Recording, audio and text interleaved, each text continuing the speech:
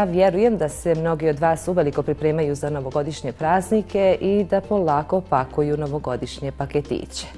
Na svakom ćošku u vašim mjestima zaiste možete da vidite dobru ponudu ne samo gotovih paketića, nego i svega onoga što biste vi izabrali pa napravili u sobstvenom režimu. Međutim, da li ste se ikad zapitali koliko djece neće dobiti novogodišnji paketić? Zato su humanitarne akcije jako značajne i svaka je bitna. Naša koleginica Nena Jelena Marilović ovog jutra razgovara sa Katarinom Tomanić ispred studenta Bijeljine ispred Pedagoškog fakulteta i najavljuju jednu značajnu akciju Zašto ja nemam paketić. Dobro jutro vam želim.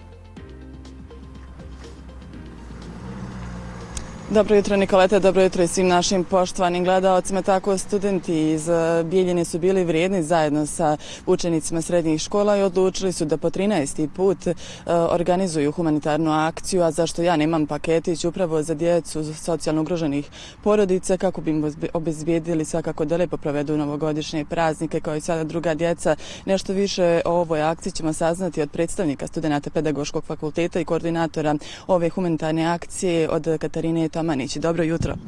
Dobro jutro i vama i vašim gledalcima.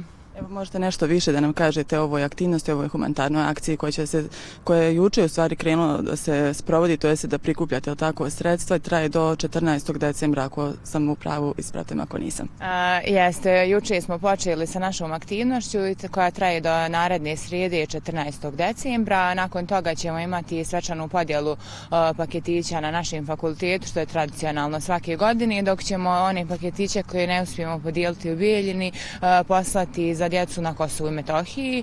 E, što se tiče uključenosti studenta, dosta njih se uključilo ove godine. E, takođe, također, ove godine naša četiri fakulteta u aktivnost radi po e, 13. Put. Ove godine zajedno sa Poljoprivrednom i medicinskom školom i Biljinskim udruženjem mladih, a druge godine po redu organizujemo ovu aktivnost na nivou čitavog univerziteta u Istočnom Sarajevu i drago nam je da smo tu proširili i na, da kažem, čita ovaj istočni dio Republike Srpske i da širimo što više neku lijepu priču i da usrećimo što više mališana.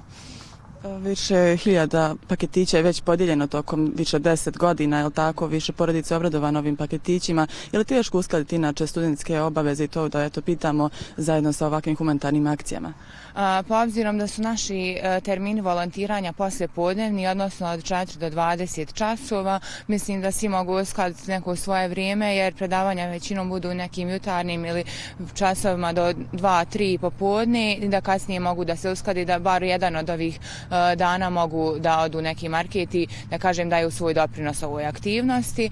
Također pozvala bih i sve sugrađane koji imaju želju da učestvuju, e, da ili odu u markete ili se, ne znam, obrati nekom od nas da vidi kako i na koji način mogu pomoći.